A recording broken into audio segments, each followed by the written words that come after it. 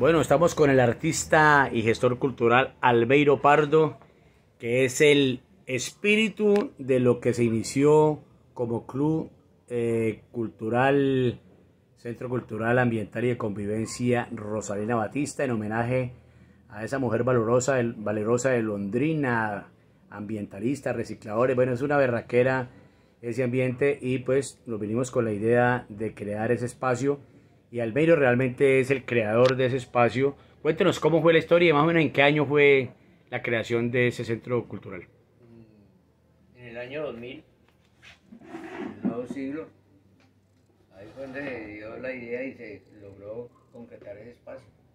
¿Y qué ha pasado de ahí acá? ¿Cuál ha sido la evolución de todos estos espacios eh, pues, culturales que es que Al sí. comienzo era el, el, centro cultural de Rosalina. Rosalina y ya después nosotros nos constituimos como Corporación Lomeros y ahora está en este construir el Centro Experimental de Arte y Cultura de Lomeros, Teatro Verde.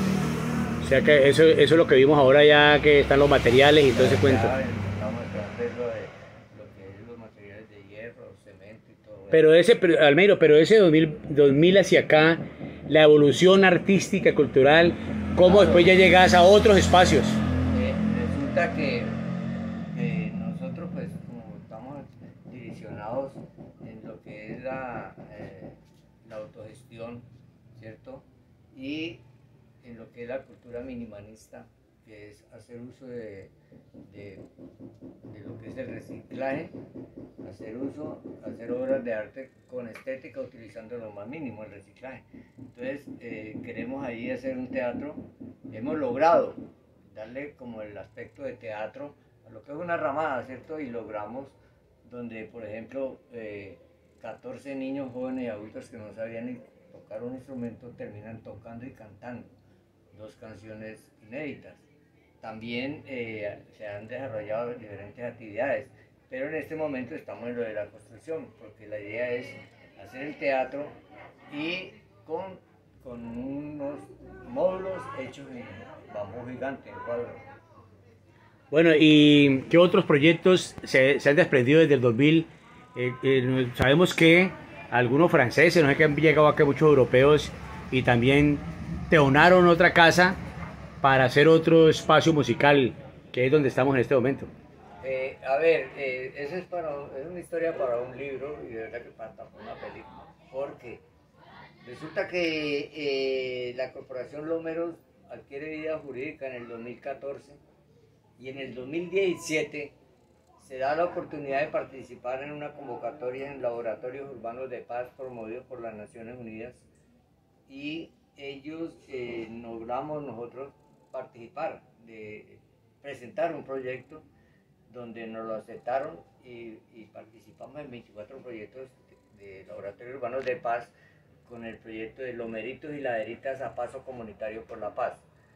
Durante, eh, fueron dos periodos, dos talleres de, de, cuatro meses, donde se enseñó lo que es todo música, arte, manualidades, pintura, baile, danza, pues, eh, piano, guitarra, canto, todo lo que es percusión y pintura a la calle. Y resulta que el 15 de diciembre del 2017 llega una comisión de Naciones Unidas donde venía una africana, una alemana, una canadiense, un chileno y uno yerquino, llegaron a la culminación del último taller con la clausura y resulta que nosotros para esos días, para lo de la cultura, hicimos una actividad con nuestra madre tutora, que es la arquitecta Natalia Dulcey de la Universidad Nacional, que ella en San Antonio se hizo un, programa para recolectar fondos que llamó Tamal. Y ella en San Antonio colocó un papel que decía Tamal y Son con lo merito y la derita en Siloé y se arregló un alemán y le dijo que, él quería conocer a Así lo es. Y lo trajo y es un magíster en economía.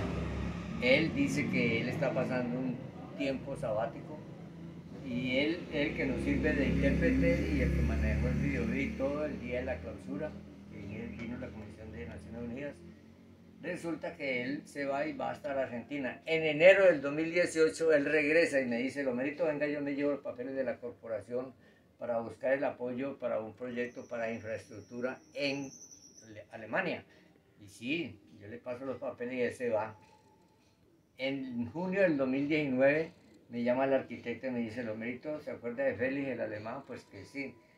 vea, pasa esto. Resulta que él no estaba pasando un tiempo sabático. Él lo que estaba pasando era un trago amargo, porque resulta que él ya se iba a casar con una chica alemana, ya tenían todo preparado, ya ella venía, porque ella venía de ella era funcionaria de una ONG ambientalista en el África, y resulta que en el viaje, viniendo ya para casarse, se accidenta y muere.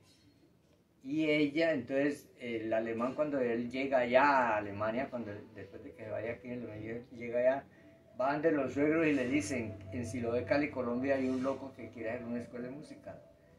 Resulta que la chica que se accidentó era música, ella tocaba guitarra y el papá saxofonista, la mamá pianista, era músico. Entonces ellos toman la decisión de donar parte del seguro que dieron por la chica, donarlo para comprar esta casa y por eso se llama Escuela Experimental de Música Isabel Poncete.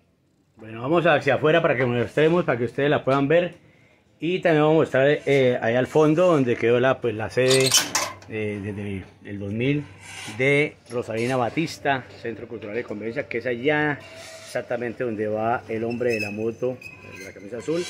Y ya estamos en esta otra sede. Mire cómo eh, ese espacio que se creó de Rosalina Batista ha logrado incidir con todo este proceso. Entonces aquí está, mire, Escuela Experimental Isabel, ¿quién, era Isabel Poncete?